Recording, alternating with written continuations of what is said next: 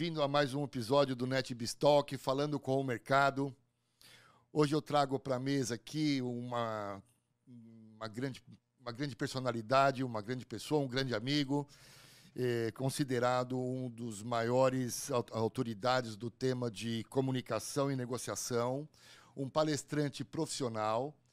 E o nosso foco aqui hoje, nesse episódio, é falar um pouco sobre dicas de, de, de comunicação, é, como se portar numa live, como melhorar uma comunicação e uma negociação internamente e externamente. Trago para a mesa hoje Guilherme Miziara, com muita honra, de verdade. Agradeço a sua presença. Guilherme, seja bem-vindo. Obrigado, Mal. Obrigado pelo seu convite. É uma alegria atender você, aos seus espectadores, sempre aqui é, conectados a essa ideia e falar da minha alegria de fazer parte desse seleto grupo que você convida de grandes profissionais. E a ideia da nossa conversa é realmente falar sobre técnicas de comunicação para que as pessoas consigam apresentar suas ideias de forma objetiva, de forma interessante, com pensamento organizado e, claro, influenciando a decisão do próximo. Meu, Essa é a ideia. Meu, que tema legal, que tema legal. E eu vejo hoje que a comunicação. Eh, eu vou começar com uma ideia aqui, claro. até para discutir com, com o professor.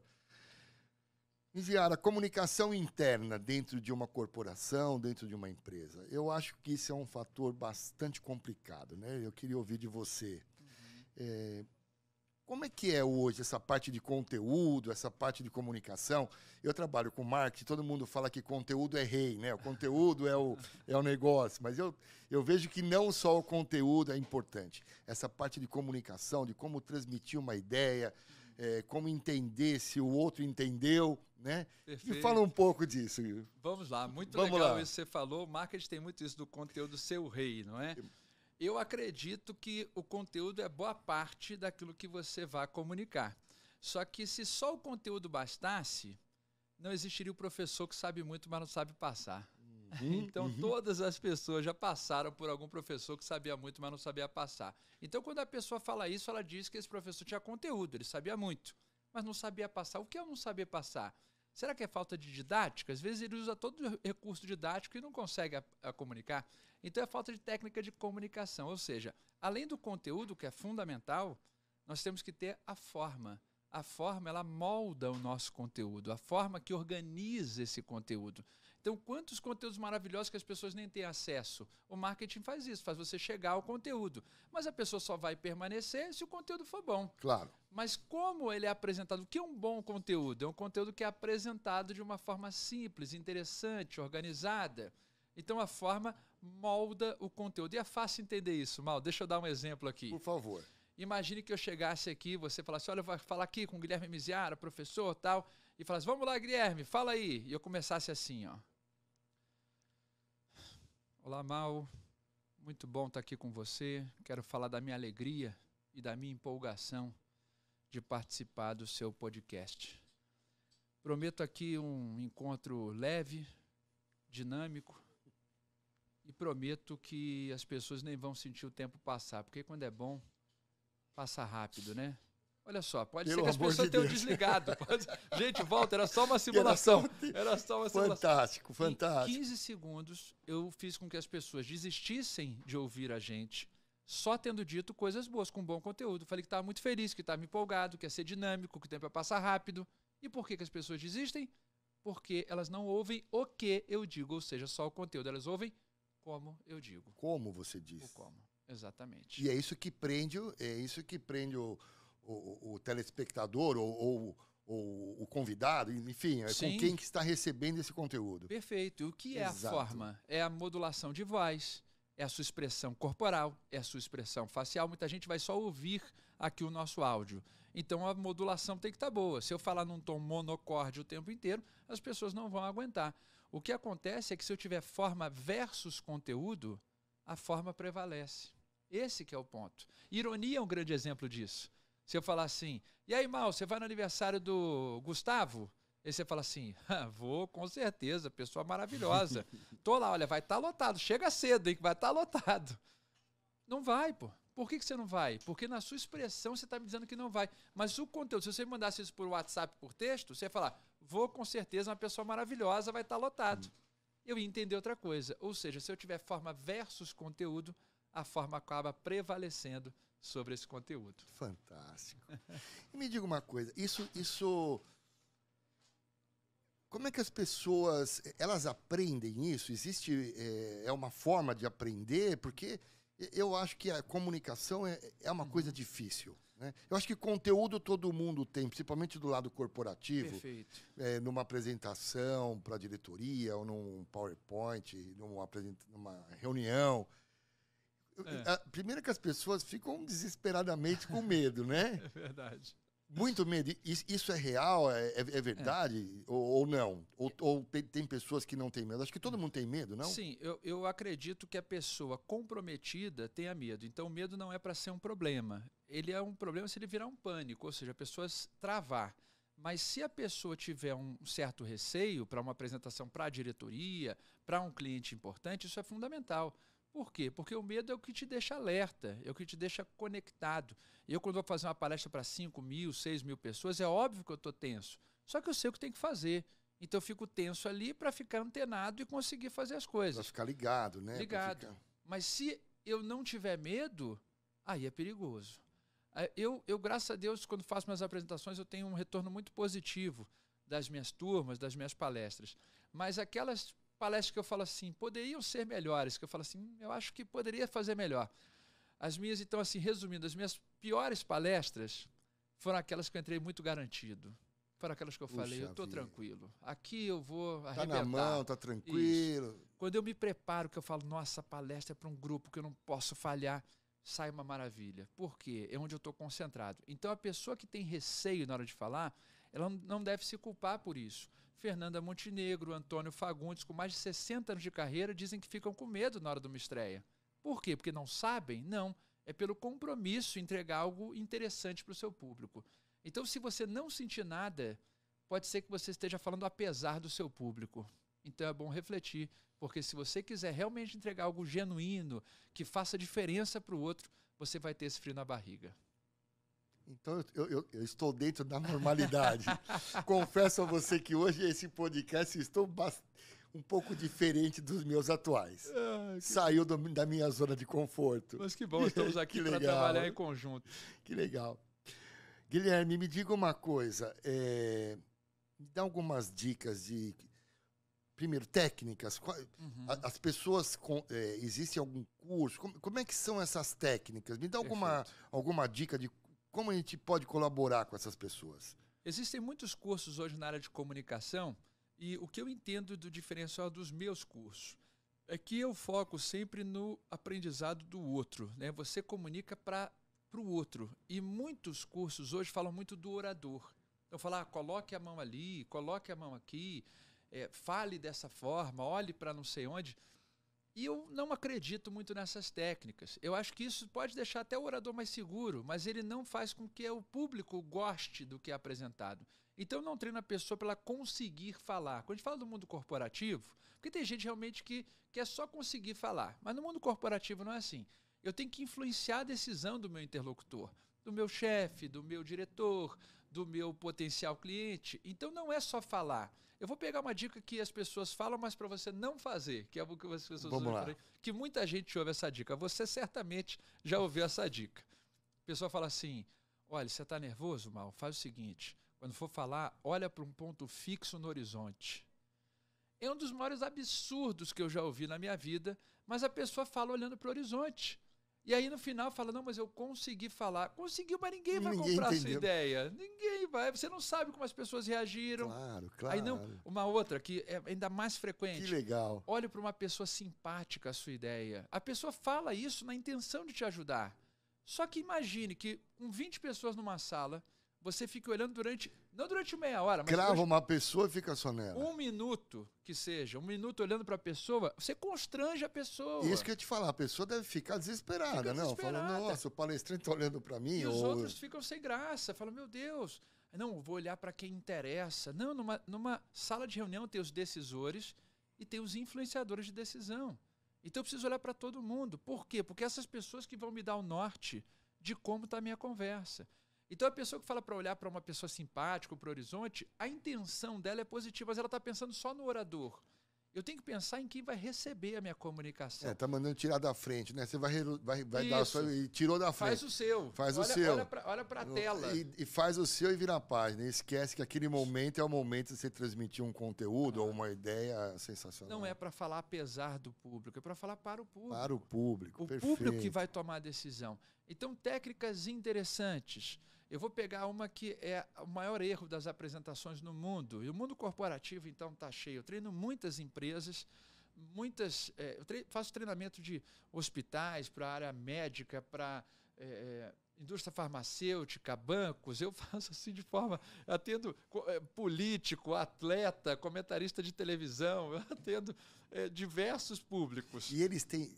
Já, já, te interrompendo Não, só um minutinho. Fica à vontade. Ele tem, ele, ele, ele, esses públicos têm os mesmos, entre aspas, não problemas, mas uhum. as mesmas características. Isso é, é independente do, da indústria ou do mercado, todo mundo tem as, as, essas características negativas ou não? São coisas similares, mas existem algumas peculiaridades. Né? Você pega, por exemplo, o atleta. O atleta, quando ele vai, eu vou treinar um atleta para fazer uma palestra, eu treino, por exemplo, um ultramaratonista Fiz um treinamento do Rodrigo Minotauro e do Rogério Minotauro, os irmãos Nogueira, que são de, de luta. Fiz do, o, o, o ultramaratonista é o Márcio Vilar, é um cara que tem quatro recordes no Guinness Book.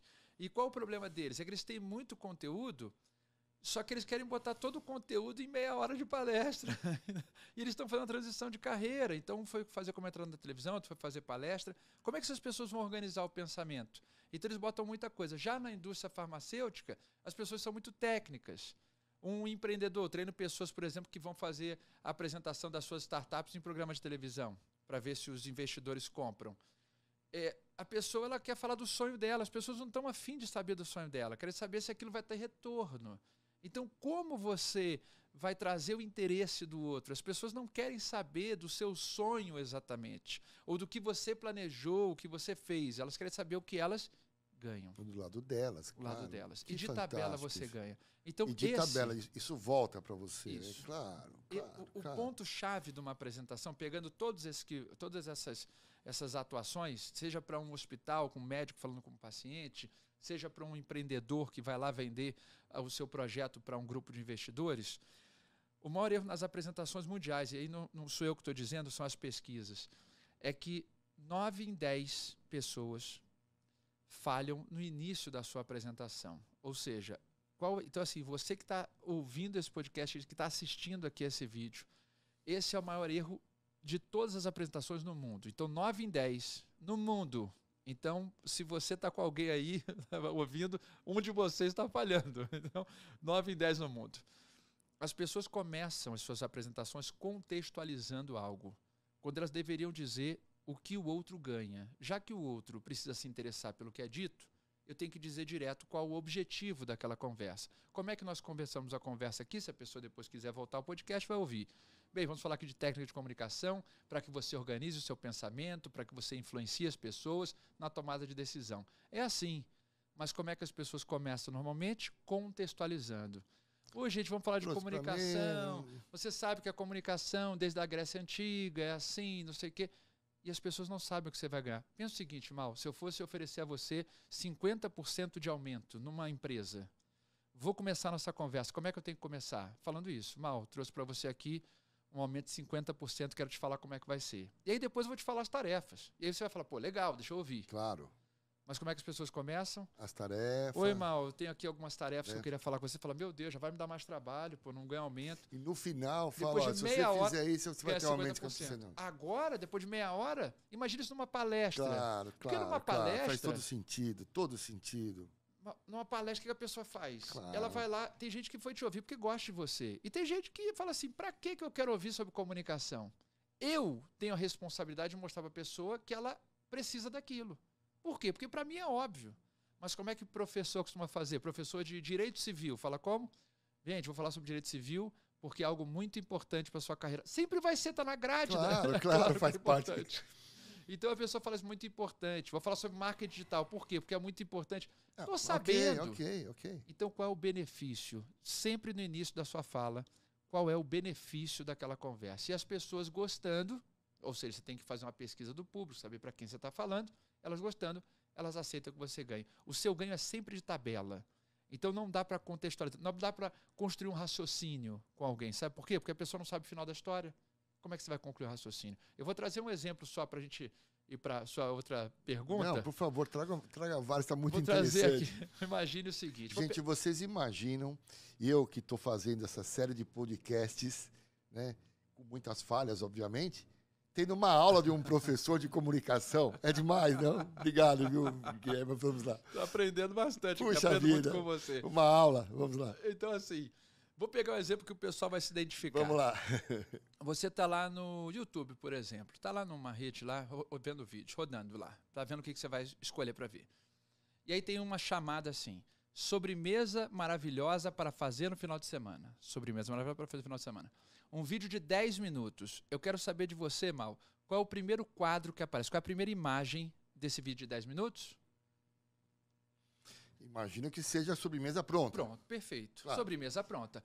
E aí, e se, aí me tem interesse em assistir ou não. Se eu gostar, assisto, a 10 minutos de vídeo. Mas não é assim que as pessoas fazem a apresentação corporativa. Vai falando. Fazer assim, é. ó. Mal, olha só, trouxe para você aqui, para os seus convidados, uma sobremesa maravilhosa para fazer no final de semana. Não fala qual é. Anota aí, é, oito ovos. A pessoa, mas é o quê? Não, calma, Mal, não me interrompe não, que eu estou aqui no meio do raciocínio. É, um litro de leite. Aí você fala, mas, ah, meu Deus, Mal vai ficar me interrompendo agora. Mal, deixa eu terminar o raciocínio. E a pessoa fica brigando com o chefe, falando, deixa eu terminar o raciocínio. E o cara fala, mas não tem raciocínio. E tem, deixa eu terminar. Tem para ele, ou seja, não é possível construir um raciocínio com alguém que não saiba o destino. Claro. Por isso eu tenho que falar da sobremesa e depois falar dos ingredientes assim como uma apresentação. As pessoas numa apresentação corporativa não querem saber é, é, o que você vai apresentar, elas querem saber como você vai chegar a esse resultado. Então, se você vai ter um aumento de 20% na receita da empresa, isso tem que ser o primeiro argumento, não o último.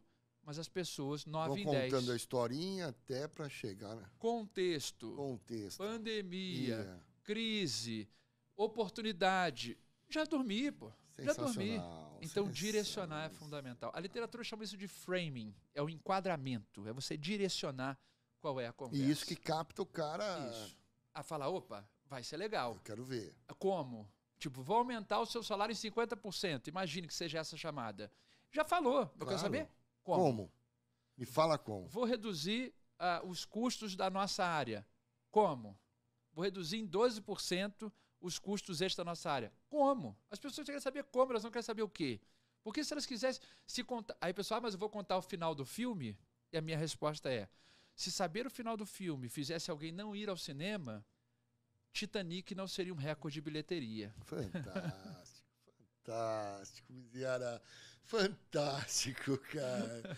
o, a, o, o comunicador tem algum soft skill que ele precisa ser melhorado? Como uhum. é que uhum. é essa parte de soft skill? Legal. Tem cara que é mais fácil para aprender, tem cara que é mais difícil, isso é Sim. é meio perso da personalidade.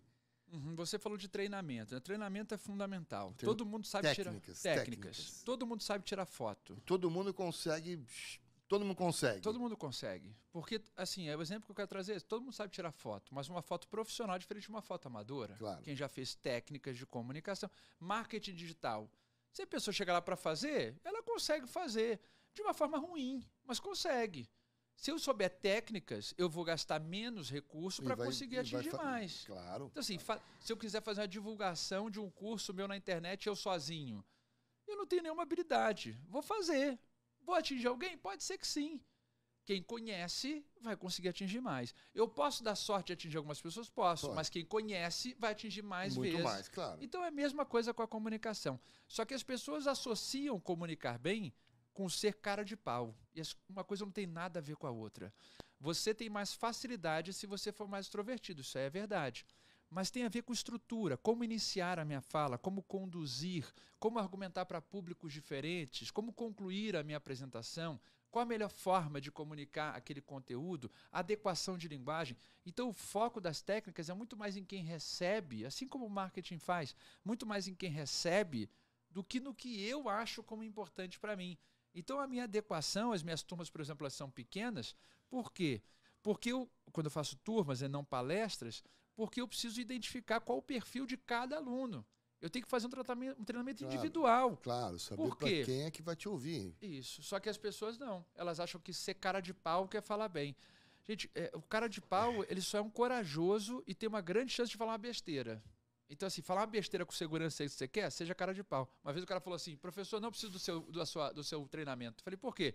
Ele falou, porque eu sou maior cara de pau. Eu falei, eu tenho medo de você. Claro. Eu tenho medo de você. Porque você acha que falar apesar do público é falar bem. Não, eu falo para o público. Então, o tímido pode ser extremamente organizado, estruturado, porque não é show que nós estamos falando. Estamos falando de influência, de entendimento. Então, o foco é no outro. Por isso que as pessoas com mais dificuldade, mais facilidade, podem aprender. É claro que tem gente que vai ter que executar mais, exercitar mais, assim como uma academia. Se eu for para a academia com um primo meu e ele tiver uma genética melhor que a minha, como é que as pessoas falam o nome de genética? Genética é quando a pessoa vai e você não vai, né? Hum. Fala, nossa, falando tem a genética é. ótima, eu vou só quarta-feira e ele vai todos os dias. É assim verdade. é a genética.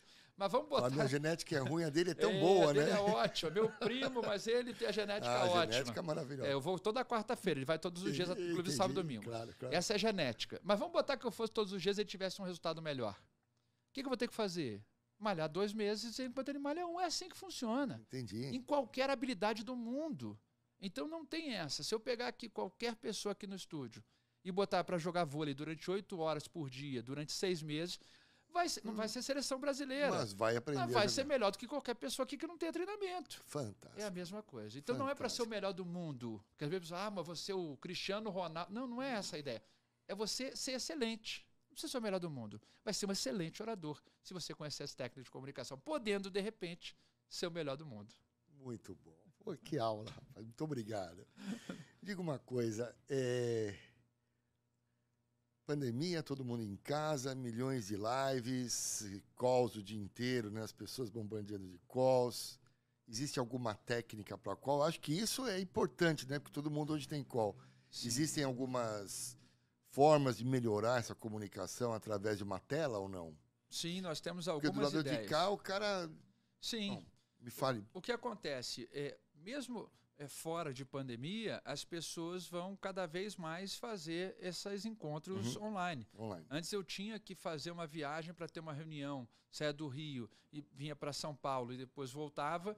E num dia, quando hoje eu consigo fazer isso, claro. e as pessoas hoje falam, não, tem que ser presencial. E hoje acham melhor não ser presencial. Então mudou aí a cabeça também. A dica é porque preciso entender que existem outros estímulos, então, assim, a pessoa tem mais dificuldade de concentração, porque está só numa telinha. Aqui a gente está no estúdio. Tem o cachorro passando embaixo, cachorro passando, a filha, o filho que vem, é a. A empregada derrubou o vaso. Acontece alguma coisa, alguém Sim, grita, tem a furadeira no andar de cima. cima. Então é isso. O que, que eu posso fazer? O que está sob meu controle. Então, algumas dicas, duas dicas principais. A primeira é o cuidado com o, o fundo que você vai usar, o fundo de tela é, o fundo de tela que eu digo, o que está atrás Sei, de você, o plano de fundo. O background da o tela. O background, exatamente, esse plano ali de fundo. O que, que a pessoa faz? É deixar o mais neutro possível. Mais neutro possível que eu digo, eu posso ter vários elementos, desde que eles não sejam intermitentes. Por exemplo, se eu botar um relógio que fica mudando, fica complicado. Ele acaba virando ponto focal? Isso. As pessoas têm um termo chamado paramensagem na comunicação. Então tem a mensagem principal e a mensagem paralela, que é chamada de paramensagem.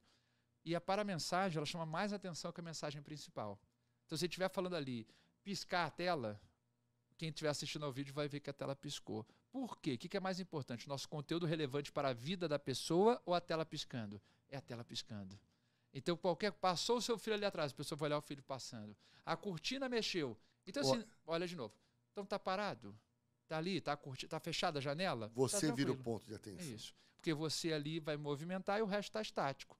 Mas se tiver qualquer coisa mexendo e você ali parado ou competindo com você, fica mais difícil. É só pensar na apresentação corporativa. A pessoa está lá, ela passa o slide, passa a tela. As pessoas olham para a tela, mesmo que seja um slide que já tenham visto. Ou seja, se apagar a tela, se entrar a tela, se voltar, a pessoa vai olhar.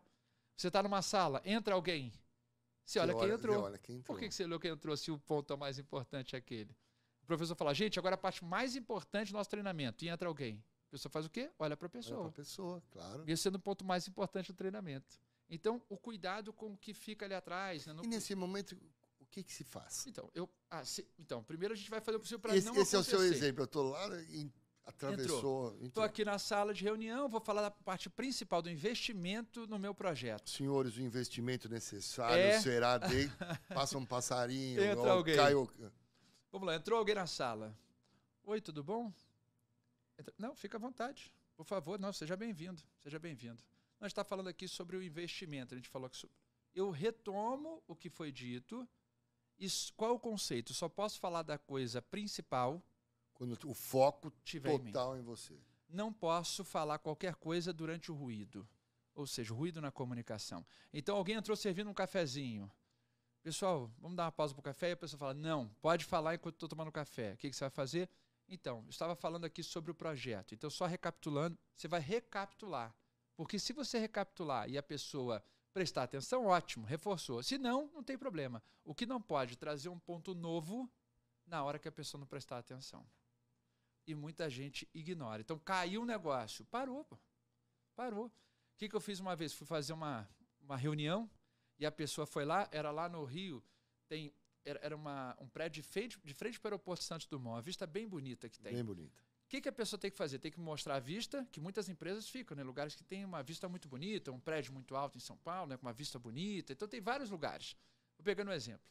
Aí a pessoa vai lá, me mostra o, o, a vista, eu olho e falo, nossa, deve ser caro aqui, penso, e depois a pessoa me bota sentado de costas para a vista. Por quê? Porque a pessoa está acostumada com a vista. E eu não estou. Mas o que a pessoa fez lá no Rio? A pessoa me botou de frente para a vista. Ah, pronto, virou um cenário para você. Fiquei, meu Deus. Era, virou um cenário. O avião ia subindo assim, câmera lenta, é, assim, mal. Ou seja, a pessoa falando se olhando aquele negócio. Quando acabou, descer, eu estava com um amigo meu, desci, ele falou, e aí, claro. miséria, o que, que você leva? Ele falou, eu falei, olha, honestamente, eu levo três latãs, dois gol e um azul. É tudo que eu levo. sei lá. Você sabe? Sei lá, eu sei quantos aviões decolaram, mas assim, a reunião, assim, qualquer coisa pode chamar a atenção. Então esse é um ponto-chave, o, o, background ali que você falou, né, o pano de fundo. E outro ponto que é fundamental e muita gente fala, até profissionais da área de comunicação, as pessoas acabam olhando para a tela do computador quando deveriam olhar para a câmera do computador. Quando a gente fala, a gente não está se olhando. Eu aqui não estou me vendo agora, estou olhando para você. Então a conexão é visual é importante. Imagine que a partir de agora eu só ficasse olhando assim, falando com você. Por mais que eu tenha o mesmo conteúdo e a mesma forma de comunicar, vai incomodar você e com os certeza. colegas que estão assistindo. Com certeza. Então é o mesmo vou, conteúdo. Vou até me sentir é desprestigiado, desprestigiado, né? desprestigiado. Então, assim, o contato visual, ele não tem só a função da leitura das pessoas, mas também a função da conexão visual. Então, quando eu olho. Você já conversou na rua com alguém usando óculos escuros? Parece que a pessoa não está te olhando. Uhum. Então, na câmera, é a mesma coisa. Quando eu olho para a câmera, eu não estou olhando exatamente as pessoas, mas elas se sentem observadas. Então, deixar a pessoa conectada é fundamental. Muitos, muitos profissionais usam dois monitores e aí tendem a falar olhando para um dos monitores. É, um tá tem aqui. a apresentação Isso, e o outro a câmera tabela, e ele fica de lado. Fica de lado. E a pessoa, ah, eu não estou gostando muito. Por quê? Porque não é só o conteúdo, é a forma associada ao conteúdo. E o contato visual é uma das ferramentas mais poderosas para a gente conectar as pessoas. Eu volto ao exemplo que você trouxe. Imagine que tivéssemos aqui duas pessoas, você, o presidente de um grupo, e você trouxe aqui o seu, a sua diretora e durante toda a minha conversa eu só olhasse para você. Claro. Quando eu saísse, e você adorou o projeto. A diretora ia... Quando eu saísse, você falava, e aí, o que, que você achou? Mais ou menos. É, não é. sei. Aí você fala, por que você não gostou? Como não tem argumento, o que, a pessoa fala?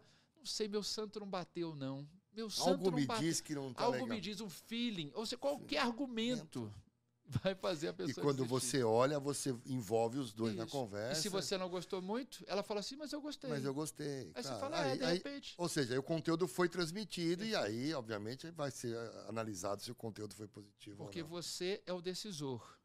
Mas numa Fantástico. reunião nós temos os influenciadores de decisão, que podem ser pessoas com cargos menores. Por exemplo, se você fosse o diretor de recursos humanos e ali tivesse uma estagiária, e eu só olhasse para você, quando eu saísse, você ia perguntar: e aí, bom esse rapaz, né? Ela ia falar assim: gostei mais do de ontem. Claro.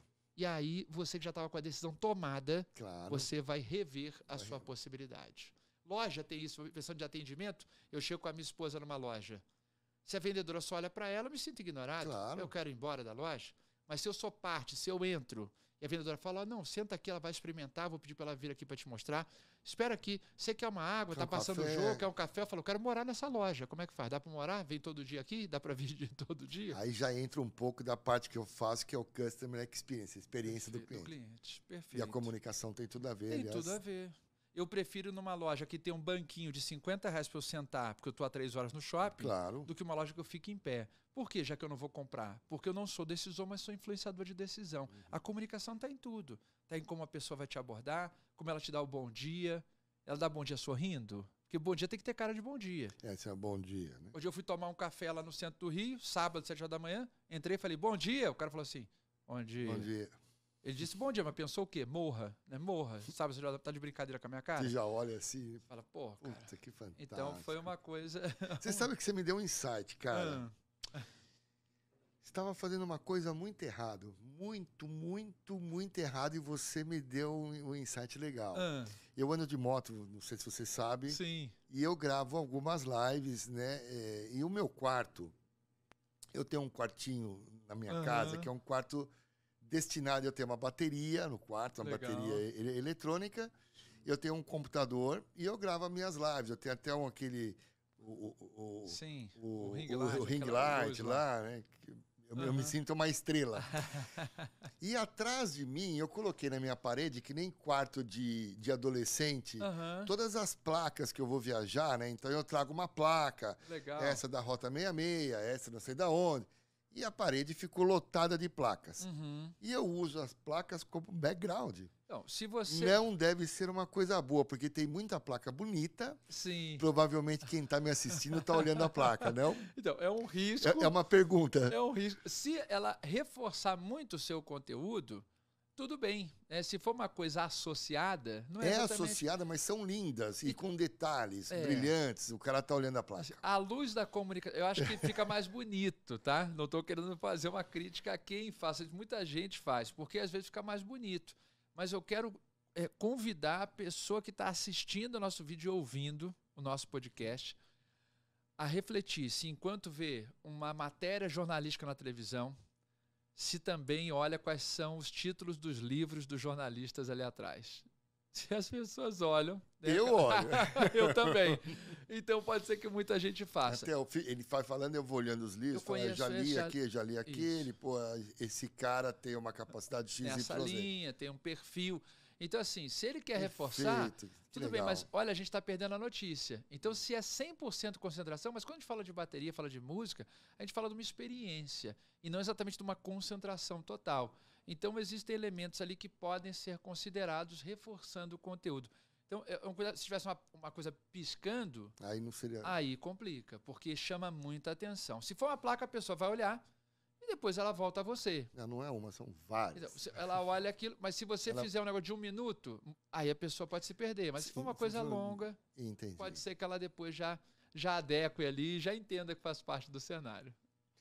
E o mundo, o mundo escrito, como é que é essa comunicação escrita? Porque a comunicação uhum. escrita, a pessoa, se ela está bem, ela entende de uma forma, uhum. se ela está mal, ela pode entender entender de outra. É. Como é que é essa comunicação escrita? Eu vou pegar a ideia E-mail, de... chat, como é que é? É, é bem, a gente tem várias possibilidades. Vou pegar o que as pessoas mais usam, pegando a ideia do e-mail e o WhatsApp. WhatsApp né, que são ferramentas ali que as pessoas usam muito. Tem os chats corporativos também, né? Ali as mensagens. O ponto ali do chat e do WhatsApp do e-mail é que eles têm muito ruído de comunicação. Por quê? Porque as pessoas não ouvem o que você diz, elas ouvem como você diz, a forma associada ao conteúdo. E ali o WhatsApp, por exemplo, sem, sem ser áudio, se for só o texto, só tem o conteúdo. Então as pessoas entendem coisas diferentes. Eu vou trazer aqui um exemplo para a gente refletir. Imagine que eu mande uma mensagem para você assim: Mal, eu não disse que a Mara errou. Uma mensagem de texto simples, curta. As pessoas normalmente não pontuam nesse chat, no, no WhatsApp não pontuam. Então, assim, mal, vírgula, eu não disse que a Mara errou. Tranquilo, uma, uma, resposta, uma coisa simples. Você pode entender de três formas diferentes. Pode entender assim, mal, eu não disse que a Mara errou. Ou seja, eu não falei isso. Não foi isso que eu disse. Ou você pode entender, mal, eu não disse que a Mara errou. Eu não te falei, tinha te dito. Ou você pode entender assim, mal, eu não disse que a Mara errou. errou. Foi outra pessoa. Ou seja, se numa frase curtíssima dessa você tem três interpretações, e tem mais, só falei três, imagine na sua reunião de uma hora, uma hora e meia, o que pode acontecer se o seu, se o seu conteúdo não for impactado pela forma. Por isso, tanto ruído. É, Para provar que a forma, né, aquilo que a gente falou, ela molda o conteúdo, a ironia é um grande exemplo. Né? A ironia é um grande exemplo. Você fala uma coisa, a pessoa entende outra. Por quê? Porque ela lê a sua forma e não exatamente o conteúdo. E, e, e o comunicador tem certeza que aquela informação estava perfeita. Tava lá, falou, eu falei, eu estava escrito lá, não, pô, eu, eu, eu, não disse que ela errou, está aqui. Eu não disse que a Mara errou, estou te falando, está escrito. Falou, então, mas eu entendi que, que você não disse que, que a Mara errou. Que coisa legal.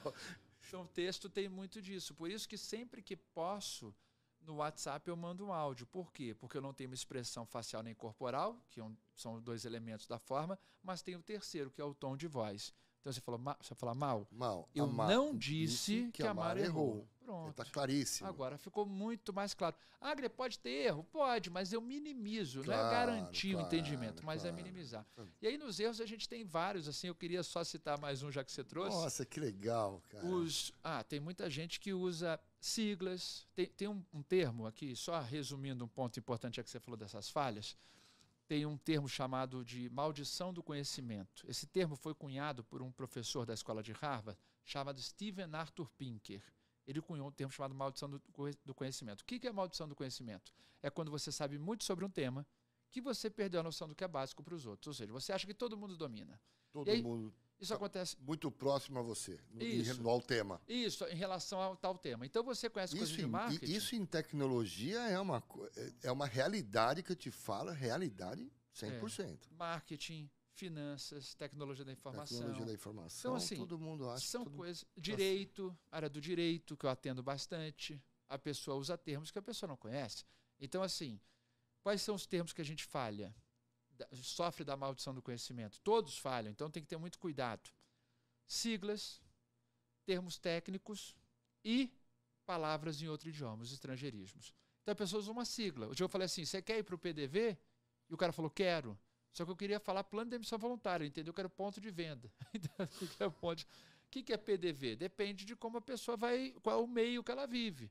Se for profissional de recursos humanos, programa de emissão voluntária faz mais sentido. Se for alguém da área comercial, ponto de venda faz mais sentido. Termos técnicos. Um advogado já chegou para mim e falou assim, Miziara, eu falei, como é que está o andamento do meu processo? Ele falou, Miziara, não vai ter jeito não, a gente vai ter que executar o cara. Eu falei, pelo amor de Deus, não faça isso. Você está louco? Exe pelo amor de Deus, não, vamos resolver. Executar, executar, é o que o juiz mandou fazer. Eu falei, ah, tá, meu Pensou Deus. Que sim. Então, execução pode ser interpretada de uma forma diferente.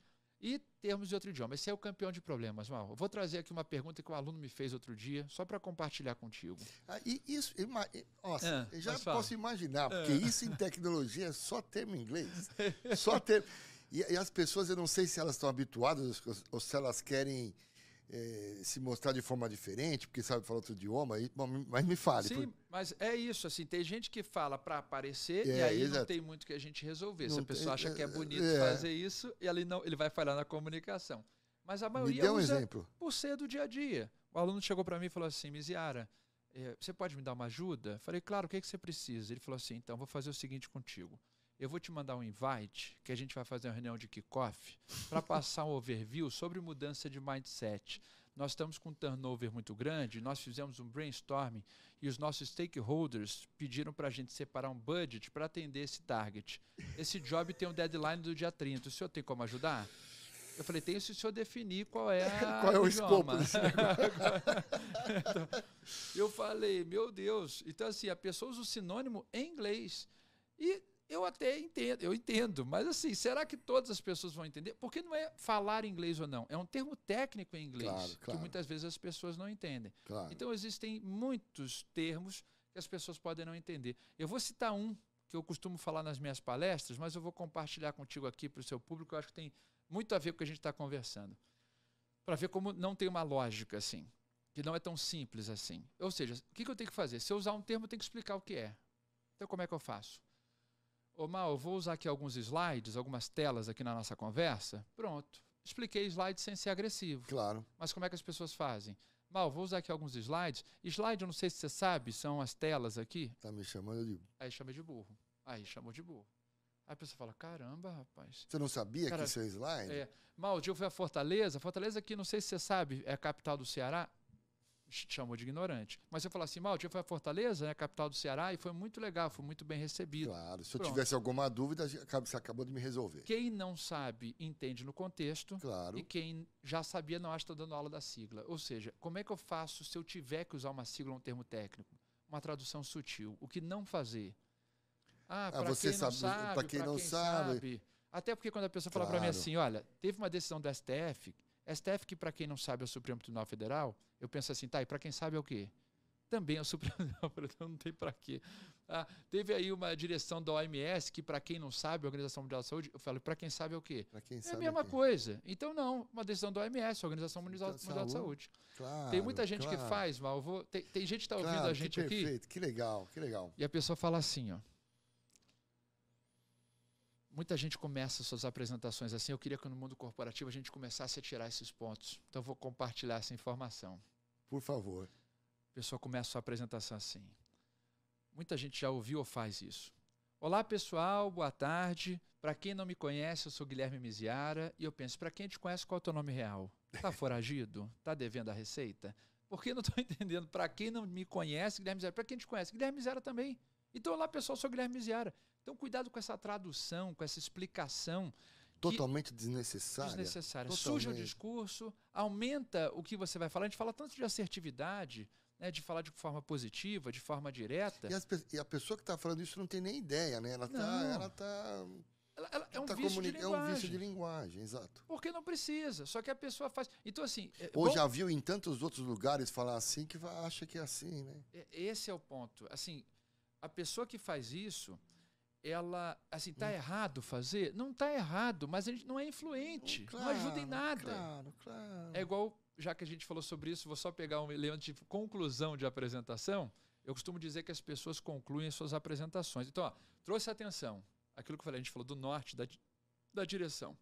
Depois você vai argumentar tomando cuidado com as adequações de linguagem para a pessoa compreender, uhum. traduzindo de forma sutil. E depois você tem que completar, finalizar a sua apresentação.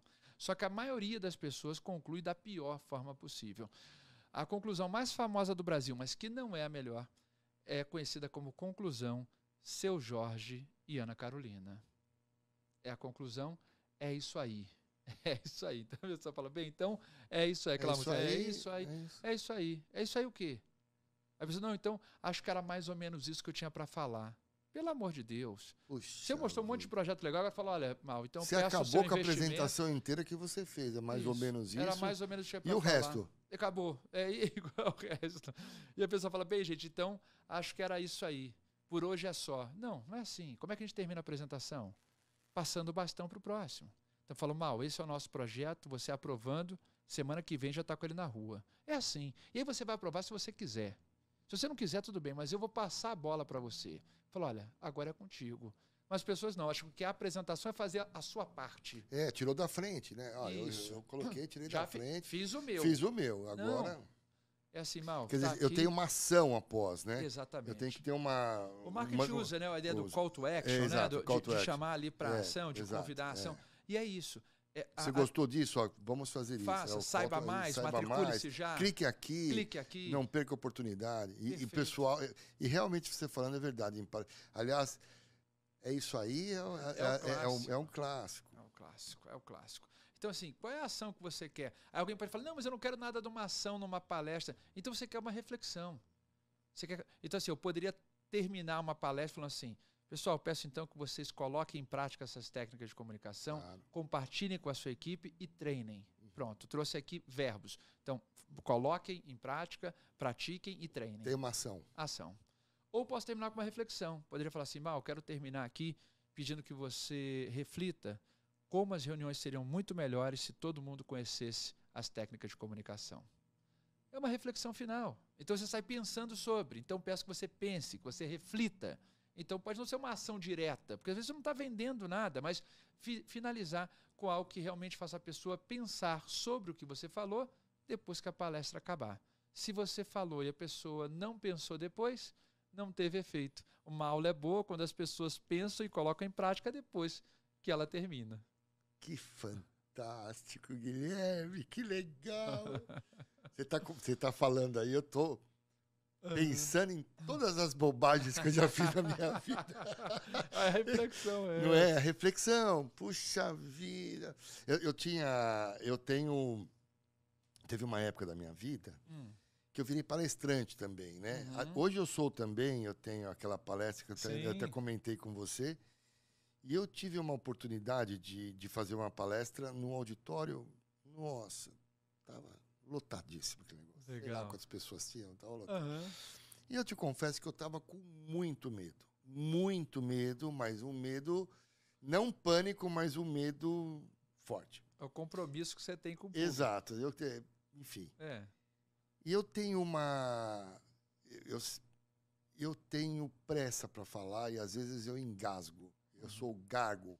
Não gago de, de, de, de, Eu repito, às vezes, uma, uma sílaba, sabe?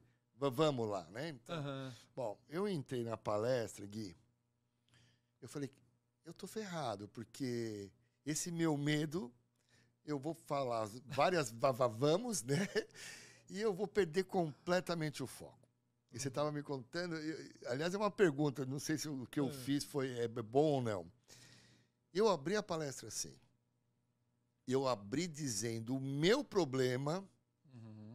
Porque eu sabia que se eu fizesse isso, ia ser um desastre. Então eu falei, ó, gente, eu tenho um problema de repetir algumas sílabas uhum. e eu queria já compartilhar com vocês esse problema para que vocês não fiquem contando quantas vezes ou deem risada enquanto isso. Quando eu fizer isso, a gente para e a gente comenta sobre o assunto foi uma forma que, uhum. de eu tentar me, me, acalmar. Perfeito. E você acredita que eu não, eu não gaguejei? Então, era esse é o, o, o que, que é isso? Eu fiz certo ou fiz errado? eu, eu, eu expus o meu problema. É isso mesmo? É, é esse é ou, eu, ou eu devia gaguejar e. Isso. O que, que acontece? A gente não deve fazer qualquer tipo de consideração assim, porque nós temos na, na literatura, quando eu digo literatura, a parte de comunicação, os livros Desculpa. que reforçam isso tecnicamente, dizem que no início, como eu falei do enquadramento, no início é o momento onde as pessoas decidem se vão te escutar ou não. Tem até uma faixa de tempo. É Hoje eu 30, vi que eu fiz errado já. De 30 segundos. já, quer dizer, o pessoal ficou já, olhando e vendo meu gaguejar. De, de 30 claro. segundos a 3 minutos é o tempo que eu tenho para você para você desejar me ouvir ou não. Ou seja, o pessoal, quando começou a ouvir o nosso podcast, em até 3 minutos, o pessoal decidiu se vai ouvir ou não. Claro. Se passar disso, já tá era. fora. Então esse é o ponto. Pô, chegou em três não, não. Na verdade é ainda pior. 30 segundos é o tempo da pessoa desistir. E três minutos é o tempo dela pensar assim: hum, acho hum. que vai hum. ser bom. Acho. Ela não tem certeza. O primeiro ela desiste. É voltar aquele exemplo que eu falei, né? Oi, mal, Oi, tô mal, muito feliz. 30 segundos a pessoa desiste. Menos que isso até, mas 30 ela toma a decisão. Então, no início, a gente recomenda não trazer qualquer tipo problema. de problema. Sempre coisas positivas. Até porque você tem a chance de não gaguejar. Mas se tivesse gaguejado, pensa comigo, é porque a gente quer, eu, eu quero comentar sobre isso, que é, uma, é, algo muito frequente. Muitas pessoas fazem isso, mas não é a melhor técnica. Por quê? Porque é onde eu confio ou não em você no início. Quando você se defende, o orador acha que ele está minimizando expectativa. A intenção dele é essa. Mas para o público, dá uma ideia de perda de tempo, de que não vai ser tão bom quanto esperava. Ou seja, Entendi. Uma, uma, já caiu a qualidade do negócio. A qualidade. Então, vou pegar alguns exemplos práticos. Se eu fosse dar uma aula. Numa pergunta. Ah, Desculpa. Por favor, não, por favor.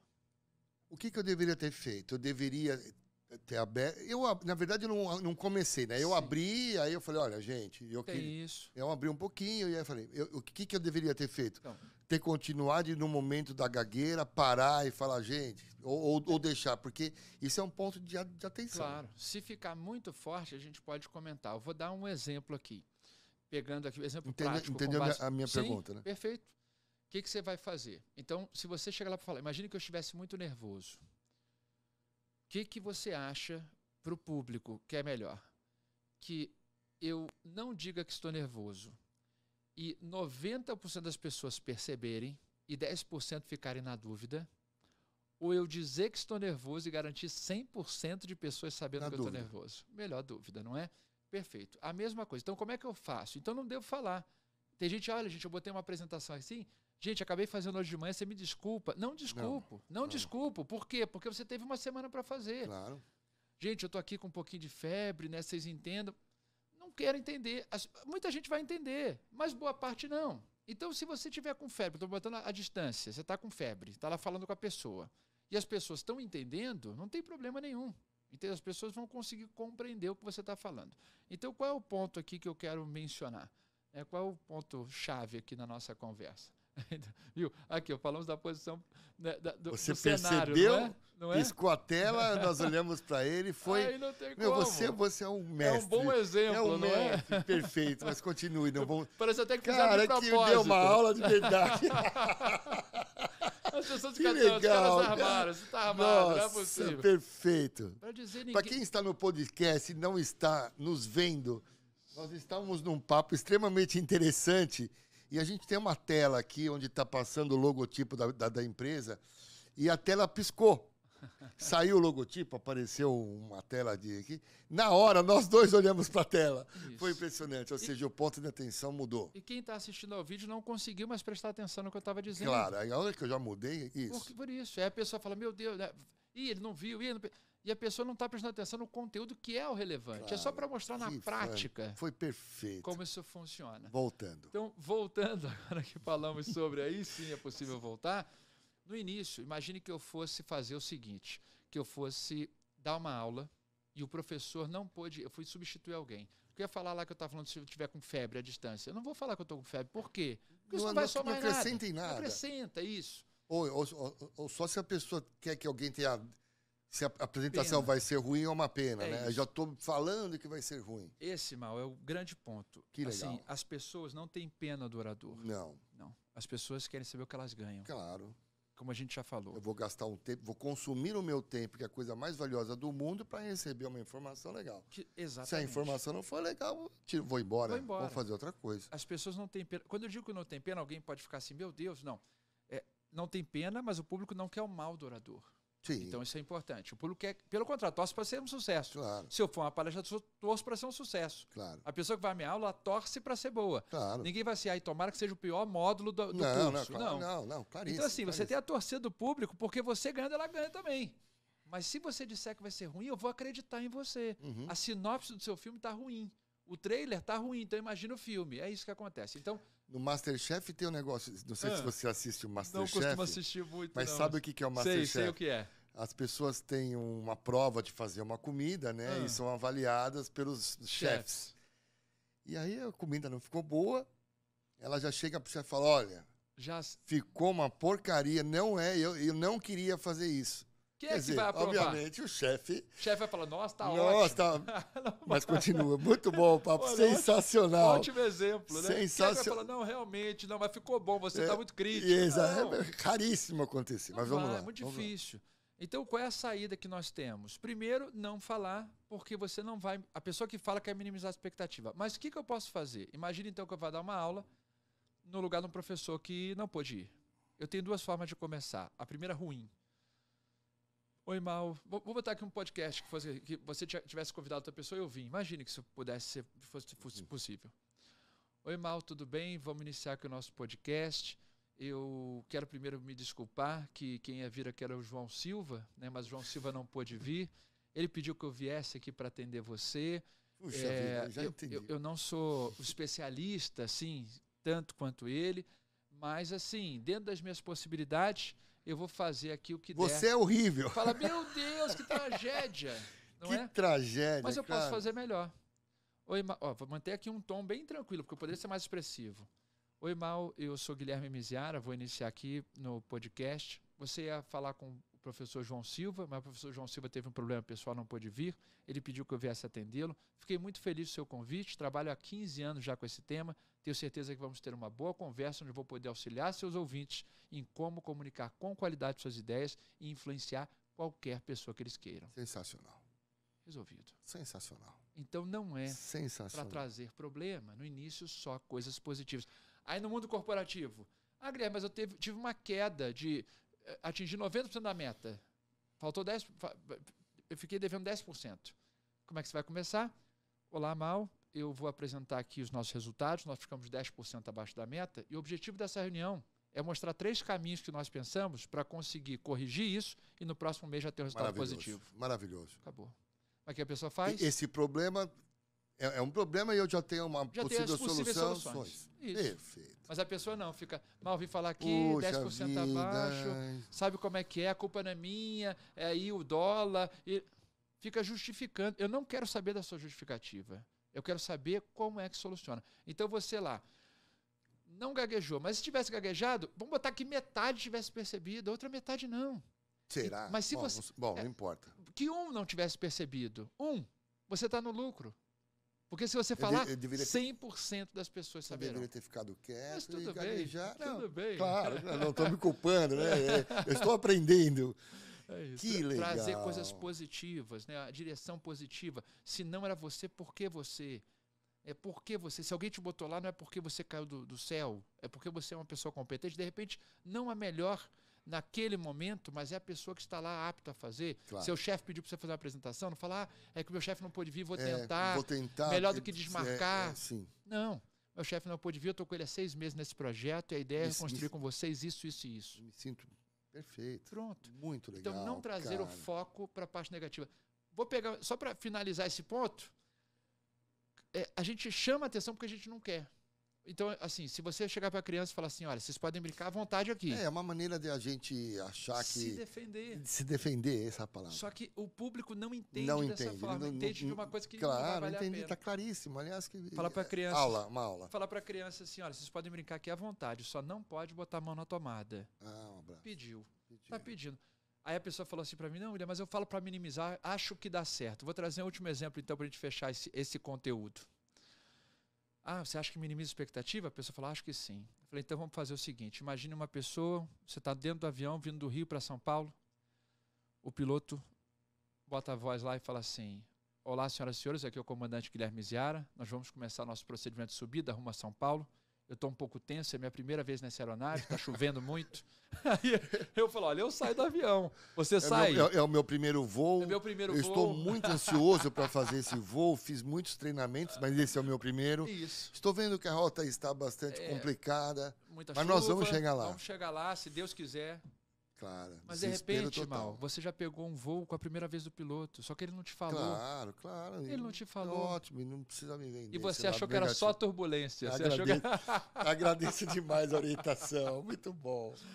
Miziara, quem que, é, quem que te contrata pelas empresas? Como é que você. Eu, eu sei que você faz esses treinamentos em empresas nacionais e multinacionais de grande uhum. porte deve ser maravilhoso um treinamento seu para uma empresa. Aliás, eu vou até verificar na, na NetBiz. Perfeito. Como é que vou, quem, como é, quem é a pessoa que te localiza? Quem é que te contrata? Uhum. Por onde vem? Vem por marketing? Vem por uhum. RH? Por onde vem? Normalmente vem pelo departamento de recursos humanos, né, de gestão de pessoas, treinamento. Eles vêm até mim, eles acessam lá pelo site eles entram no meu site, o misearacomunica.com.br, ou pelas redes sociais, cada vez mais as pessoas entram em contato comigo pelo LinkedIn, pelo Instagram, é muito comum acontecer também. Então as pessoas acabam, hoje é muito fácil achar as pessoas, né? Aqui, a pessoa que vai me assistir aqui ou que vai me ouvir, você, a pessoa já tem ali o meu contato. Então é muito simples assim. Normalmente o que acontece, Mal, é as pessoas assistem alguma palestra minha, elas é, eu faço nas empresas para algum setor, depois do setor chama.